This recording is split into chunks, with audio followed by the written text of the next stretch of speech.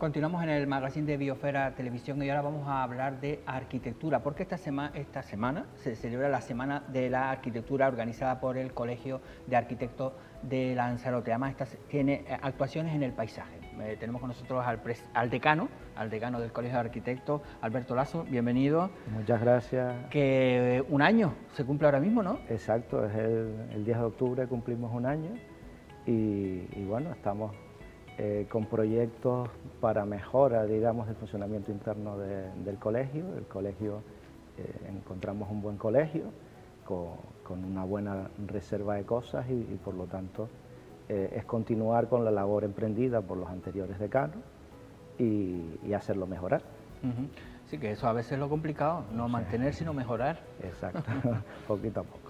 Eh, en este primer, ¿Cuántos mm, arquitectos forman ahora mismo el colegio? Son entre 118 y 120 colegiados tenemos en, la actualidad. ¿Y eso, esa cantidad, si comparándolo un poco con los otros colegios, eh, me imagino que dependerá, claro, del, tamaño de la población, ¿no? Pero aquí... Mm, bueno, nosotros seremos por número de colegiados el, tercer colegio de Canarias. El primero es Gran Canaria con 950 eh, Tenerife tiene 700 y algo, nosotros los 120, Fuerteventura tendrá sobre 105 o una cosa así, y La Palma tiene 60 colegiados aproximadamente. Esa sería nuestra escala. Porque después ya en la península, cada, también cada, en cada provincia tiene también sus colegios. Depende, digamos, de, si se han separado, eh, si en la comunidad autónoma se han eh, determinado como provincia o como aparece, digamos, en, Andalucía, pues han creado diferentes colegios eh, profesionales. Pasa que en, Canarias quizás, ¿no? por el tema de ser isla, parecía casi, casi es decir, para funcionamiento era, ¿no? Eh, quizás más adecuado a lo mejor, ¿no? Bueno, al final es decidir cómo queremos funcionar y, cómo funcionamos mejor. En aquel momento, en el previo al 17, es cuando a través de la escisión que tuvo Gran Canaria del Colegio de Canarias, porque antes era un único colegio, pues se, propició que Fuerteventura, La Palma y Lanzarote pues creasen también un colegio independiente y por eso se conformó el Consejo de Colegios de Arquitectos de Canarias. Lo que pasa es claro, que al final cada isla tiene sus características, sus problemas de, ¿no? Yo creo que... Sí, y sobre todo por el número colegiado. Digamos, eh, son ámbitos diferentes, territoriales mm, bastante diferenciados, pero también tenemos mucha temática en común. Y lo importante del Consejo Canario es cómo articulamos todas las políticas que son eh, isleñas a, la comunidad, digamos. ¿Y hay sintonía entre los colegios? De sí, hombre, hay más o menos sintonía en función de, los temas que tratemos. ¿Cuál es el más complicado? Bueno, el más complicado al final es tema de los presupuestos, si se quiere potenciar el Consejo Canario o si se quiere dejar como hasta ahora, que ha sido un colegio de mínimo, donde en Tenerife y Gran Canaria pues tenían los costes de secretaría y tesorería que fueron asignados por los estatutos. Claro, y la historia es si se quiere tener un buen consejo, ¿no? Es decir, que al final eh, haya unas políticas comunes para Canarias, ¿no? Y cómo vertebramos, digamos, la información, eh, los mismos semanas de la arquitectura, como las coordinamos. Una propuesta que se hizo hace unos plenos atrás fue el intentar que cada colegio organizase eh, un día de la semana de arquitectura. Además, hoy en día con los sistemas webinar y otros sistemas, pues puedes darle eh, acceso a cualquier ciudadano. Bueno, pero eso ya va a ser como para el año que viene, ¿no? Sí, bueno, este año estamos en ello. Este año es la semana, ustedes han elegido el tema eh, actuaciones en el paisaje. Está claro que en una isla como Lanzarote, mm. en el que el paisaje es una de las señas de identidad, ahí es fundamental, ¿no? La, la, actuación dentro en el paisaje de Lanzarote. Sí, digamos que la temática se seleccionó entre los supuestos que teníamos, porque además eh, existía el el 50 aniversario del Parque Nacional y como elemento emblemático pues queríamos traer, digamos, a, uno de los ponentes, eh, que fue el redactor del Centro de Interpretación de Mancha Blanca. Sí, que además ganó un premio también, creo, ese, centro. Es decir, que eso quizás uno del ejemplo de, ¿no? de cómo hacer un edificio dentro de un lugar lleno de lava ¿no? y, Mm. y un lugar protegido además. Bueno, que- aunque está, está fuera del Parque Nacional, Bueno, pero es un lugar protegido porque... sí, pero me refiero que no que se hizo precisamente fuera del Parque Nacional, sino en el preparque que se llama, creo. Sí. Y ahí se hizo. Ento- es el- entonces es el que va a venir el próximo sábado. Es el próximo sábado. Ahora hablaremos entonces de ese, pero vamos, Vale. hoy, hoy ya empezaron ustedes en, en el Colegio La Destila. Exactamente. Comenzamos con un taller de arquitectura infantil, eh, Almudena Benito, de Benito Alonso, eh, que es la, la fundadora de, de Arquitectos, Ujú, Chiquitecto. de Chiquitectos, perdón. sí, ahí, ya- ahí tenemos lo del, ta- lo ya del me- taller. ah, ciudad, Ciudad Sostenible, que se llama. Pues, pues perfecto. Eh, pues ahí nos, nos- nos plantea, digamos, un taller para los niños, para hacerles comprender, digamos, la necesidad de- del reciclado, de lo sostenible, de qué ciudad queremos eh, tener.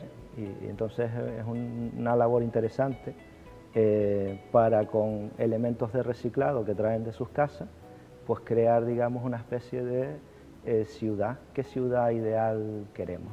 Al mismo tiempo te, te ayuda a subrayar lo que es la importancia de la economía circular y la sostenibilidad. Que de eso también ustedes van a hablar algo de, de residuos plásticos también, en otra de- También. en otra de las conferencias. Exacto. Y después mañana martes es un concurso fotográfico, actuaciones en el paisaje. Sí. Pero es online. A ver, ¿cómo...? Bueno, Las eh, fotografías las han hecho ya, entonces. No, no, esto se supone que se abre, digamos, eh, eh, se- lo que se van a presentar son las bases y se abre el concurso. Ah, vale, vale, y vale, vale. ese concurso se va a fallar eh, el Día Mundial del Urbanismo, que es el 8 de noviembre, Vale, vale, pues vale. se va a fallar ahí. Eh, con, como novedad con respecto al año pasado, pues se han incrementado, digamos, las cantidades de los premios. Pero es solo para arquitectos. No, no, está abierto, digamos, a, al- a Vale. las Y- personas, digamos, aficionadas a la, a la fotografía. Pero tienen que ser actuaciones en el paisaje en Lanzarote. Puede ser en cualquier lado del mundo. Va, No, no, se, no, se no tiene que ser... no Eh, está- Hombre, ya ma- el mañana salen las bases. Vale, vale, vale. Bueno, pero decir que a alguien que le interese la fotografía Sí. puede presentarse aunque no sea arquitecto. Aunque no sea arquitecto. Vale, mañana se presenta la base y seguramente que en la página de ustedes web ya se pondrán todas esas bases para que la gente, ¿no? Sí. Para escribirse. Y eso va a ser después, tienen todo el tiempo, me imagino pondrán toda la fecha para Se presentar. marcan las fechas y, y al final pues se reúne un jurado, arquitectos y fotógrafos, donde al final decidirán cuáles son los premios. Vale, bueno, pues eso a partir de mañana ya saben, la- el miércoles seguramente estarán ya todas esas bases en la... Bueno, en principio mañana deberíamos colgarlo. Bueno, bueno, pues mañana, mañana por la tarde, mejor Vale. entonces. Bueno, eso es el martes. Después el jueves, eh, Sí. hablabas de Fire Sí. y en el centro de visitantes va a haber una conferencia, ¿no? Arquitect- arquitectura y diseño en busca de alternativas por los residuos plásticos. Sí. Claro, eso en la arquitectura hoy día que se utiliza, ¿no? Me imagino que es a la hora de la construcción, ¿no? Sí, digamos esto, esto es un proyecto que hace eh, la Universidad de, de Berlín, la, la Universidad Técnica de Berlín, en colaboración con la Universidad Rey Juan Carlos. Sí, ahí estamos viéndolo también. eh, de Ignacio Borrego, Gómez Payet y Víctor Armas Crespo, que son doctores arquitectos, son muy buenos, digamos, en, en su labor y nos van, digamos, a hablar de ese proyecto que están en investigación, de cómo eh, evitamos que se incineren los plásticos, eh, cómo evitamos que esos residuos pues se suelten de manera descontrolada. Entonces, su misión es que sea, eh, la investigación es cómo obtenemos un producto alternativo que nos permita, digamos, hacer nuevos espacios o nuevos productos, de tal manera que, que además también sirvan como almacenamiento de polímeros.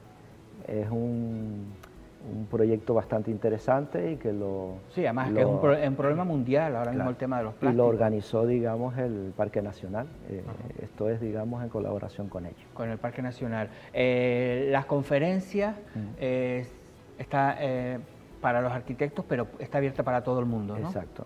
La gente se puede inscribir. eh, tenemos un número de teléfono. mm, Si quieres lo... No, mejor entren, eh, está en, el, En la página web en la de- página web, en el- las redes sociales, colegio. todas esas mejor que entren y lo miren, pero digo que está abierta. Está abierta, se pueden inscribir, como tiene aforo limitado, pues si se inscriben, pues ya tienen garantizado su acceso, digamos, a la conferencia que deseen. Después el viernes en Arrecife, en el almacén, es otra, también otra conferencia, elementos vegetales en las infraestructuras verdes canarias. Sí. Esto es Alfredo Reyes Betancor, es biólogo, es director del Centro de Aclimatación de La Orotava y además era coordinador o es coordinador del programa de Instituto Canario de Investigaciones Científicas. Y nos va a hablar un poco de cómo deberíamos planificar eh, la implantación de, esas especies vegetales eh, en las actuaciones que vamos a hacer. Claro, en las infraestructuras, a veces, mm, no sé, me imagino, se construye una autopista, ¿no? Y en esas infraestructuras, ¿cómo, no? Sí, o un parque, un simple parque que diseñemos, o imagínate la adecuación de una calle. Pues, ¿qué especies vegetales deberíamos utilizar? ¿Cuáles son los errores que normalmente eh, cometemos en, las actuaciones que hacemos. Incluso qué tipo de especies deberíamos implantar. De eso hay muchísimos errores, ¿eh? Es por eso. Porque dicen, no, es que he plantado un árbol y me ha levantado la calle. Hmm. Claro, pues a lo mejor será que no tiene culpa el pobre árbol, tendrá culpa quien ha plantado ese árbol ahí, ¿no? Claro, y muchas veces en la distancia entre arbolados, claro. vemos si, si se pone alcorques mínimos pues sabemos que eso se va a ser levantado. Las palmeras, estas que se han plantado 200 palmeras en una calle. Pues todo ese tipo de actuaciones, pues bueno, nos va a dar su visión eh, crítica de, qué deberíamos hacer para mejorar nuestras actuaciones en el territorio. Claro, es que mm, al final son, parecen que son detalles ¿no? sin importancia, pero al final dentro de una ciudad, dentro de una isla, ¿no? el saber qué tipo de, porque dice, no, vamos a plantar verdes, no, vamos a plantar árboles, pero es que no vale todos los, todo tipo de árboles, ¿no? Y los arquitectos ahí, me imagino que cada vez más también tienen importancia a la hora de diseñar algo, ¿no? Claro, y sobre todo, una cosa es que tú la diseñes, que sepas, digamos, qué especies vas a implantar, pero después también está el mantenimiento, el día a día. Si yo eh, hago el mejor diseño del mundo y después no tengo el mantenimiento adecuado, pues va a ser una intervención que lleva al fracaso. Entonces, todo necesita un cierto mantenimiento y una continuidad en, las intervenciones. Claro, al final es todos los atar todos los cabos sueltos, ¿no? Que los arquitectos eh, en algunas veces ha pasado también, ¿no? De crear un gran palacio de congreso y al final, pues a los dos años se va rompiendo las cosas y dices tú, ¿y ahora qué? Pues eso es falta de planificación. Eh. De eso ha habido muchos errores, ¿eh? muchos errores, muchos errores. Eh, bueno, eso es el viernes y después en el almacén. Es decir, entrada gratuita, pero hay que inscribirse. Sí, pero además hay una segunda conferencia el viernes. Exacto. Que son Premio Nacional de Arquitectura este año del Consejo Superior de Colegios de Arquitectos de España. Y es un premio Sostenibilidad y Salud. ¿Por qué han obtenido este premio? Es un premio por la obra Parques y Jardines Mediterráneos de la Hoya, que es en Almería, la ciudad de Almería. Era un espacio abandonado, residual, que ellos con, digamos, con poco presupuesto y con vegetación y agua han mejorado, digamos, ese espacio. Y nos los van a explicar, digamos, mm, cómo proyectan ellos con el paisaje. Entonces, eh, estos son Juan Antonio Sánchez Muñoz y Vicente Morales Garrafolo, que son arquitectos que a día de hoy están trabajando en Granada. Eh, son de las nuevas generaciones que van, van saliendo, digamos, en, esta España. Y después el sábado lo que decía es esta en el... Además una, pone visita guiada y conferencia. Sí, exacto. Viene Alfonso Cano Pinto, eh, es, digamos, arquitecto, profesor de la Escuela de Arquitectura de Madrid, y tiene el estudio Canolazo. El estudio Canolazo surgió con Julio Canolazo que es un arquitecto, medalla de oro de la arquitectura en España, miembro de la Real Academia de Bellas Artes, eh, fue el 100 aniversario en el 2020 y nos va a hablar un poco de la obra de, su padre y de cómo le ha influido, digamos, a las siguientes generaciones del estudio, con los proyectos nuevos, eh, esa visión que tenía su padre de la arquitectura y el paisaje. Y finalmente nos haremos un recorrido por el edificio que diseñaron ellos, Alfonso Cano Pinto, eh, La Barca y, otros autores, eh, in situ. Esto es una visita que es como si guiada por, el, por los propios redactores. Además, yo eh, estoy seguro que hay muchísima gente que desconoce y que nunca ha ido al centro de visitantes de Timanfaya.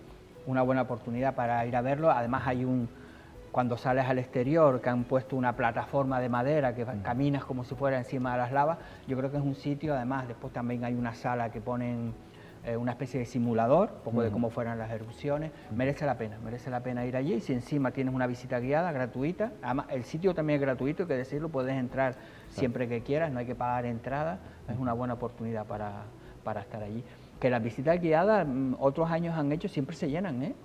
Sí, bueno, en un principio el, el aforo que tiene el centro visitantes en cuanto a la sala son 100 personas, entonces... Mm, pues sería estupendo que, se, que se, llenase.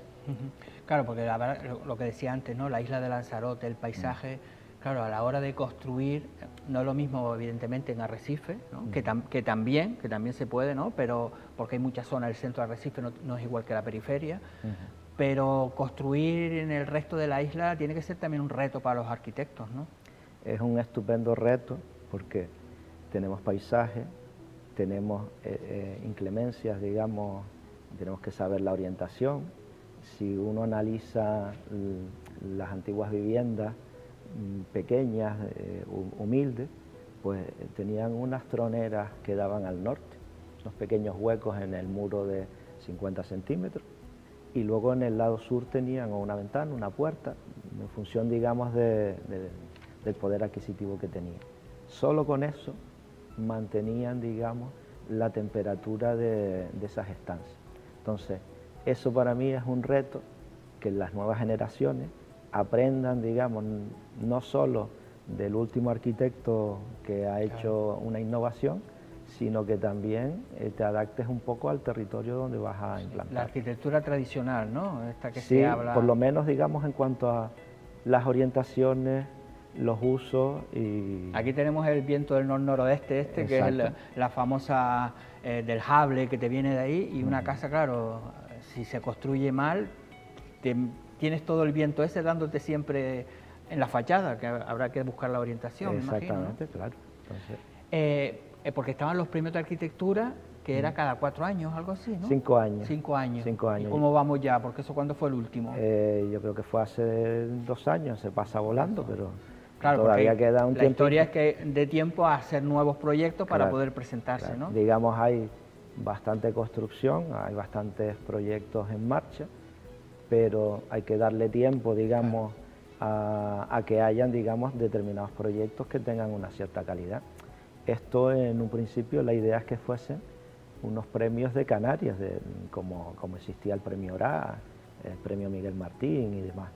Eh, ya veremos a ver si logramos que en ese Consejo Canario pues, se vertebre de alguna manera unos, premios canarios, eh, con la finalidad de que bueno, podemos tener nuestros premios insulares, pero al mismo tiempo van a participar a nivel canario. Claro, que, también para los arquitectos canarios también es otra oportunidad para vender su obra, ¿no? por decirlo. Y además los premios que cuando los vemos eh, nos damos cuenta a veces de la calidad, ¿no? A veces pensamos, ¿no? Lo de las obras, lo que digo yo siempre, nos pensamos que todo es arrecife, pero después nos vemos, cuando vimos esos premios, todas esas obras que había, mm, algunas de rehabilitación, otras de, primera, de primera hora, y decían, qué bonitos, ¿no? Que decías tú, ¿y, estas casas dónde están?